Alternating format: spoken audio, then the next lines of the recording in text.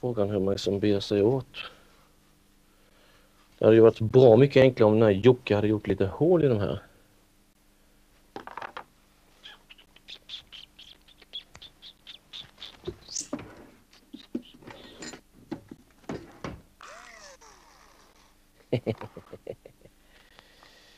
Ska vi sätta den här så då.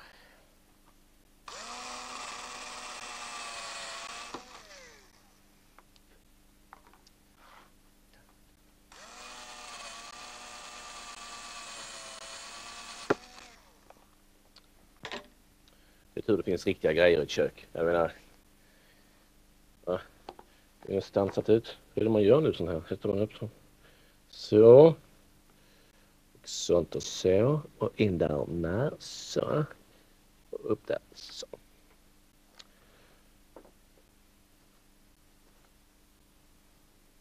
Det är ju skitsnyggt.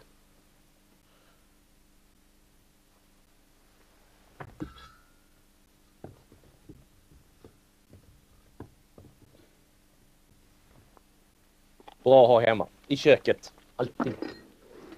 Endast den som är väl förberedd kan improvisera. Och vi är ju då fruktansvärt väl förberedda när det gäller apelsinmarmelad. Som inte är en apelsinmarmelad för det är en clementinmarmelad. Och vad hade jag ställt den? Jo, jag hade ställt den i skafferiet.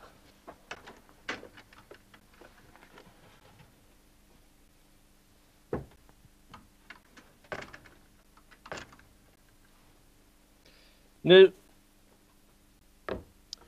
har ju våra små godingar stått och dragit till sig lite grann. Vi har vår lilla påse som vi så snyggt och prydligt band ihop och socker och så. Det har blivit lite mer vätska som ni kan se. Kan ni se det? Ja, det kan ni se. Och sen så har våra skal som vi har strimlat sådär ligger där snyggt och prydligt. Nu har vi fått ut så mycket pektin som möjligt så att den här ska bli en krämig konsistens. Vad vi nu gör är att vi kokar den och vi sätter den på 6 och så kokar vi upp den och när den har kokat en liten stund så kan man dra ner den lite grann så man inte bränner den därför att den blir väldigt mörk i färgen då. Sen kokar vi ner den ganska häftigt, så det tar en timme. Och är man då osäker på när den är klar eller inte så tar man då sin sockertermometer och så stoppar man ner den och så när den är på 107-108 grader är marmeladen klar. Då tar man ut den, låter den här ah, liksom hänga vi tar en sån här liten krok och hänger så att den får rinna av lite grann så den kallnar för det är ju fruktansvärt varmt. Så gäller det att försöka klämma ut så mycket av eh, saften som sitter kvar här inne sen. Sen slänger man den lilla biten och sen är marmeladen klar. Då lägger man på burkar ganska omgående för att om man lägger det på varma burkar, varm marmelad, så innebär det att när man sätter på locket så är det ett visst övertryck i dem och när de kallnar så blir det ett undertryck och då sitter locket på mycket, mycket hårdare och då håller den liksom perfekt men under tiden den där lilla godbiten står då på spisen här och kokar så ska vi göra hjortronsylten för det ska vi ju ha till efterrättet då på julafton. Då behöver vi lite hjortron. De står där.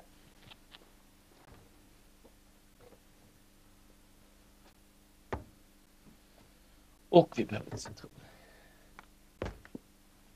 Citronsyra. Den här förpackningen eh, räcker i ett år kan jag säga. Eh, hade inte mindre när jag var. Eh, socker naturligtvis. De här små rackarna har ju då eh, varit frysta och det innebär att de spricker lite grann i vävnaden och då går det väldigt mycket saft ut. Så det här ligger ju väldigt mycket saft och den här saften det är ju oerhört mycket smak så att den vill vi inte bli av med på något sätt. Så att eh, det ska absolut vara med. Men för säkerhets skull så ska vi sila de här bären med någonting under så att vi samlar upp saften så vi får bort eventuella blad och dylika små attiraljer. Och det gör vi då med durkslag. Då välter vi ut innehållet. Sätta åt sidan så länge. kan man då skölja ur den här lilla burken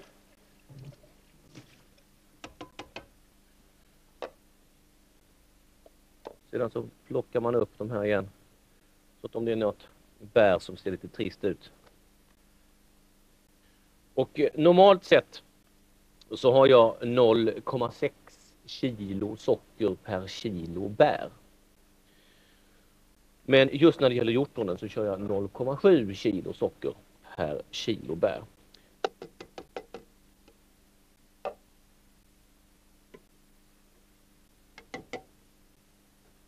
Låter vi det här koka upp 15 minuter.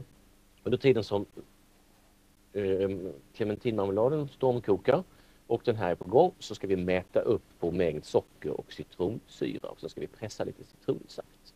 Och det är klart.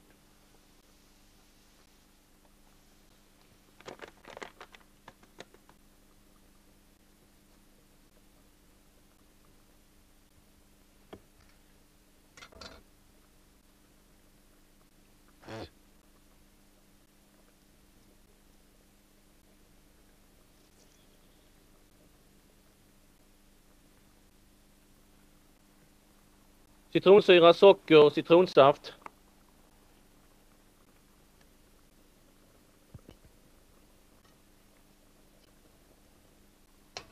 Så den här gjort sitt lite lätt.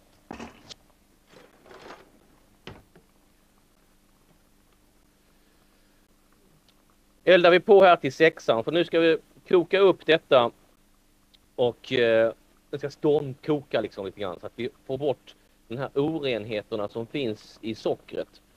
Och eh, om det nu dyker upp, vilket kan hända ibland att inte de gör, då ska vi vara beredda att skumma av det hela.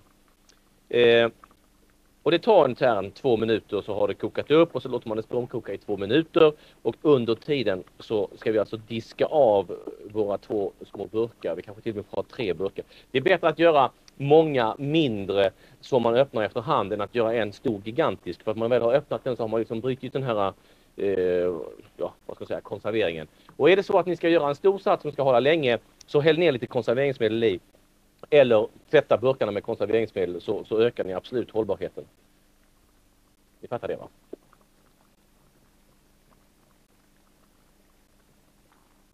Nu har den kokat i två minuter. Stänger vi av den. Den här skeden har gjort sitt. Så tar vi vår lilla slev.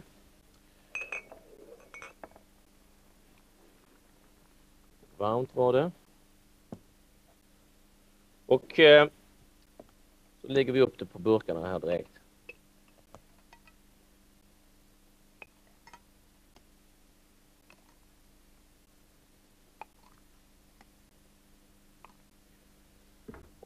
Se nu till att få en liten, eh, typ en centimeter kvar med eh, luft. Så att när vi nu kör på den här så är det alltså ett övertryck här inne. Men när den kallnar så kommer den sluta åt ordentligt. Va?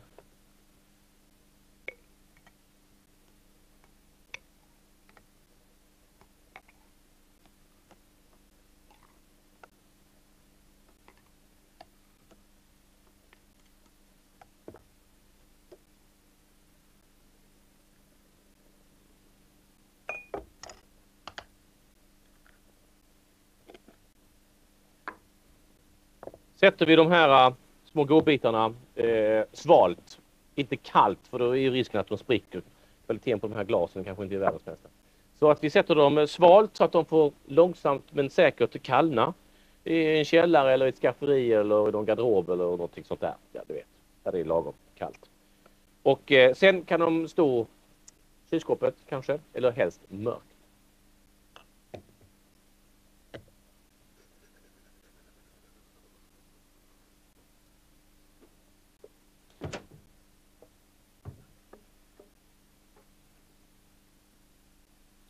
Attention, attention, très chaud, très chaud.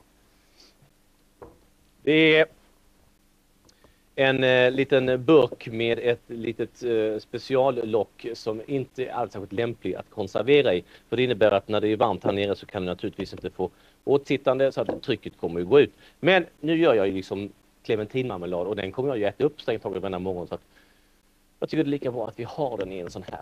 Så kan vi stoppa in den i kylskåpet när den är kall. Men nåväl, den ska ju diskas den som allting annat. Vår eh, lilla clementinmarmelad har nu kommit ner betänkligt i nivå och eh, den börjar liksom skrynkla sig lite på ytan när man eh, har tagit upp den. Vi ser att den ser väl gosig ut. Så att vad vi gör nu helt enkelt är att vi sätter den åt sidan, stänger av. Är man nu orolig över att man inte har kommit tillräckligt långt i kokningen så tar man sin, eh, sin sån här eh, Eh, karamell, eh, socker, termometer och så, så kör man ner den här i. Och då kommer den upp precis över 7 700 grader. Det är inte rätt inte, men den kommer upp i en 106. Så den skulle kunna koka ungefär en liten stund till. Men jag tror det är rätt, det är rätt bra i alla fall. Eh, så blir den inte så kletig och lägga ut. Nåväl, eh, den här påsen ska vi ta och hänga lite granna i någonting vettigt.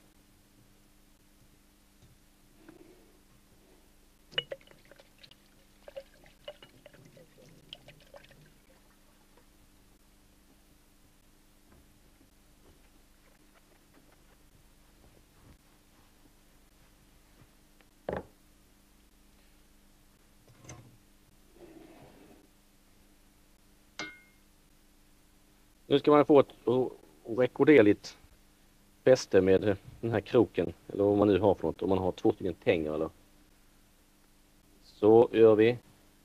Så skulle man kunna sno en sån till. Ja, ja, jag vet att det finns här. Jag tar om det varenda gång. Sen ska vi hitta vårt lilla hål som vi med så stor möda gjorde här under.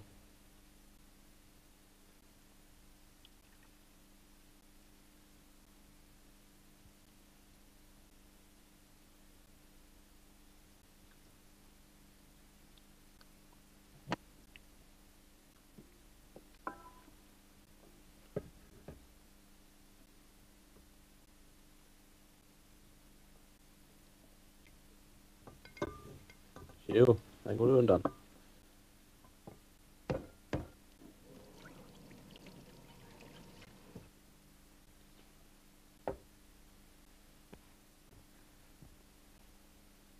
Clementinmarmeladen är då i sin fullo klar. Eh, som ni vet så är det alltså då lite mer socker i clementiner än vad det är i vanliga apelsiner och egentligen ska man då ha lite pomeranser för att få den här men de kommer ju inte som jag har sagt tidigare förrän i januari, februari. Så det här är en fantastiskt god marmelad att ha till frukostmackan. Na, na, na, na.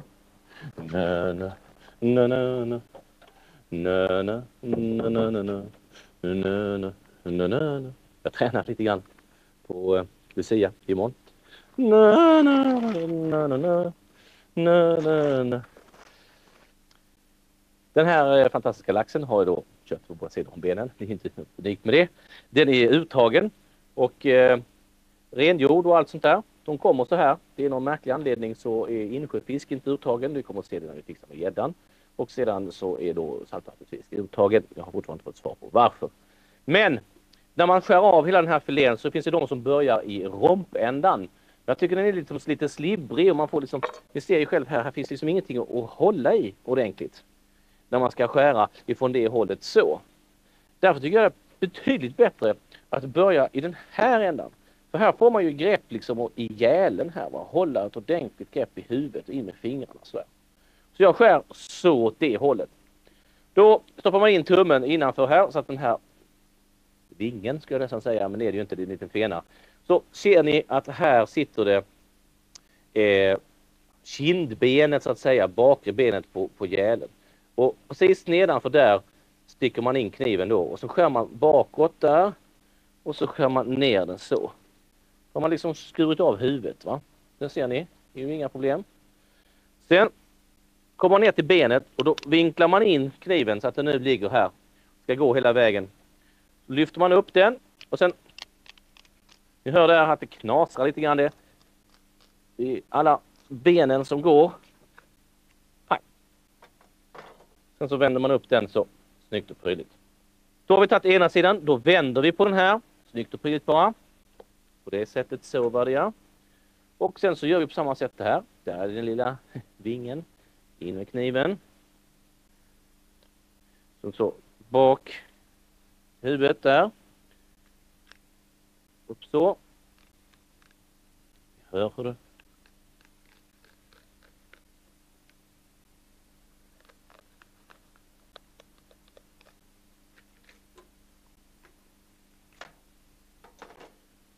Och då är den färdig på det sättet. En styck matsked. Så gröper man ur här i skeden, så gröper man ur här emellan.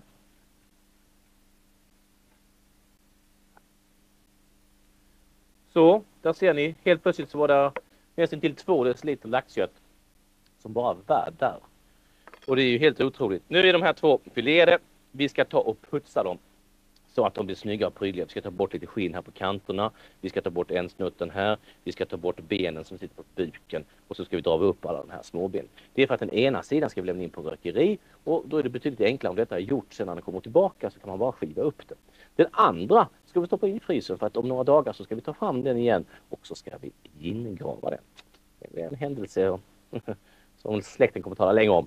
Eh, man kan naturligtvis eh, dillgrava den och så vidare och då kan man ha massa dill och sånt i frysen. För att jag menar, det är ju trots allt december och vi har ju inte någon dill som växer upp i trädgården. Så därför tycker jag att ett intressant knep är då att gingrava med enbärssylt. Den saken kommer då senare. Nu ska vi putsa till de här. Så snyggt. Här hade jag då med en viss eh, skicklighet och naturligtvis en oerhörd tur har jag då fått bort en hel del utav eh, bröstbenen så att det är bara de här som sitter kvar. Då lyfter man upp så att kniven kommer in under och sen arbetar man då uppåt hela tiden så att man får bort den här lilla biten.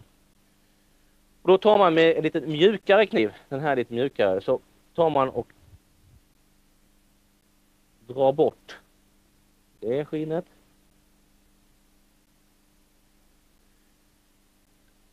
Och det skinnet. Sen kommer då tången. Det här är alltså en vanlig sån här äh, plattång med äh, spis i spis. Ehm, det finns speciella laxtänger. Nackdelen med dem är att, att handtagen oftast är i plast. Vilket gör att om man börjar ta i så, så böjer man handtagen istället för att få större kraft här ute. För att om laxen är pinfärsk, det vill säga att den är upptagen strängt taget samma dag, då sitter de benen som sitter ner i filén, de sitter så pass hårt att det nästintill är omöjligt att få upp dem. När de har legat på is några dagar så är det betydligt enklare. Och eh, så att vad man gör då är att man känner med pekfingret, där har vi ett ben, drar man upp den, och ett ben där, drar man upp den, och så följer man Man försöker hitta benet först med pekfingersnageln, ta upp den. Som ni ser så ligger benet snett in på det viset. Så att man ska alltså inte dra den åt det hållet eller så. Utan det gäller att dra den åt det hållet som den är neråt. Mer än, mer än så här behöver vi inte göra med de här två laxfiléerna. Sköljer vi av dem, lägger in dem i varsin plastpåse. Den ena sticker vi till rökeriet med och den andra stoppar vi in i frysen.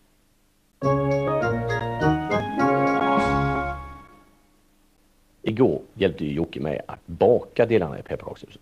Idag ska vi sätta ihop dem. Och för att klara av detta så behöver man först smälta socker. Tänk på att bränn det inte för att då blir det ju hopplöst att syssla med. Sådär någonting. Sedan så måste man göra liksom lite kristyr så att det blir vackert. Sen samlar man ihop tre av sina bästa polare, alla kategorier. Och så under strikt organisation så sätter man ihop alla de här delarna. Vi vi kan dekorera varsin. Varsin får du en Gabriel. Mm. Och vill du ha... Vill du ha... Jag vill ha taket. Vill du ha taket? Jag vill. Du vill ha taket. Den vill, här är ett tak till. Vill du också ha tak? Och det är en sån. Där.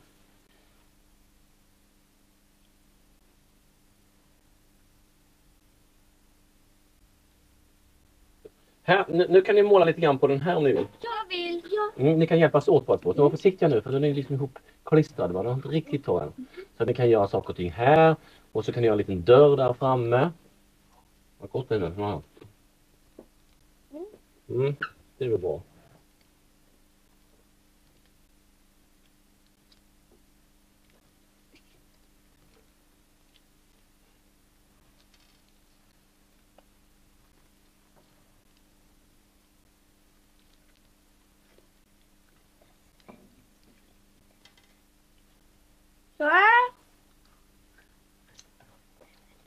Ja, du får vänta lite, torka lite grann sådär. Mm. Mm, vad ska jag göra nu? Passa det. Ja, nu är det inte så mycket kvar att göra nästan. Ska det vara en gubbe på taket va? Mm. mm. Här kan det stå en gubbe.